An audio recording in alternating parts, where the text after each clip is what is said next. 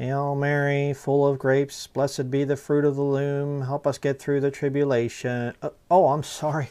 Uh, the rosary and post tribulation rapture. Oh, come on now. This is ridiculous. There's no proof of this. Oh, yes, there is. Here we have page two of a PDF uh, file, mostholyfamilymonastery.com slash forward slash rosary.pdf. can look this up yourself. I'm going to put it up on screen. It says the joyful mysteries here. There are, there are three groups of five. Interesting. The joyful mysteries, you have the Annunciation to the Blessed Virgin Mary, the all those dumb ones there. I'm not going to read them all. The sorrowful mysteries, and then the glorious mysteries down here at the bottom. And look at number five, the coronation of the Blessed Virgin Mary, Queen of Heaven and Earth. And the virtues that come from it is the perseverance in grace and a crown of glory hereafter. Hmm, perseverance. He that endureth to the end, the same shall be saved. We must be overcomers. Next, let's go to um, rosarycenter.org. Here you have the glorious mysteries, each one explained in great detail. You go down to the very bottom, and again we have the coronation there. And down at the bottom it says spiritual fruit, grace of final perseverance. You got to have that. That's very important. You know? And again, this this fives, you know, what's the deal with the fives? Just like the Jesuit, uh, uh, the spiritual exercises of Saint Ignatius uh, de Loyola, you know, um, you see the thing of fives, the Illuminati law of fives. Satan likes to use uh, some sister systems of numbers too, by the way. And it's funny because the number five is the number of death in the Bible.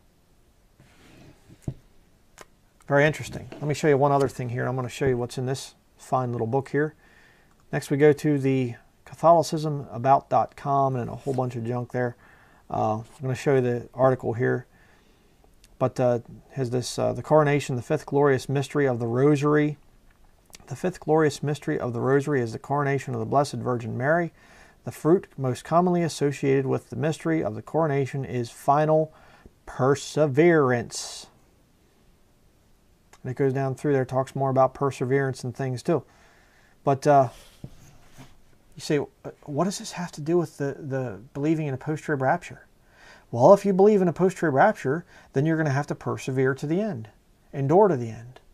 Absolutely. And you're going to have to fight your whole way through the thing to avoid losing your salvation. Because if you get weak and you take the mark of the beast, you're done. You're finished. You've lost your salvation. Interesting. Let me show you here in the uh, official catechism of the Catholic Church. You can see it here, the Catechism of the Catholic Church. And I've showed this in one of my pre-trib rapture moments. We'll go down here to the bottom.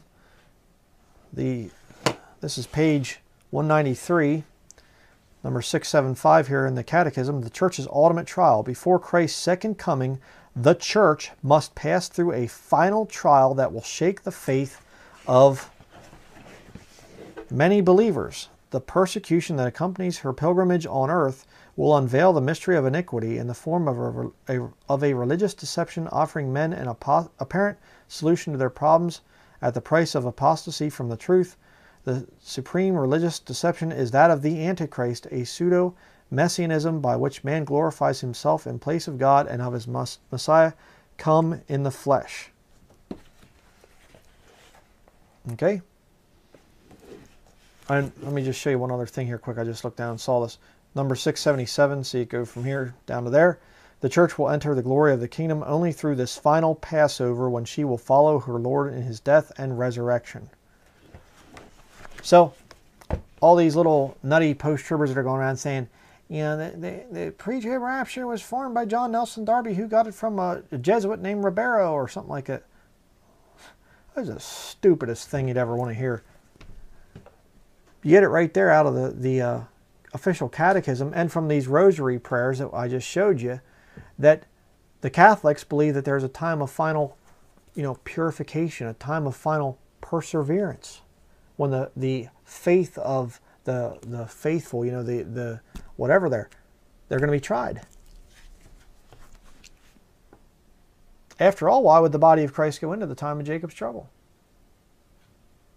See? It needs to be purified. It needs to go and be and persevere. We must be overcomers. And I saw now that Dr. Scott Johnson is also teaching this thing. And you know, I might be doing another video on that in the future, but you know, there's so little time. I'm just going to start saying some of this stuff, getting out there.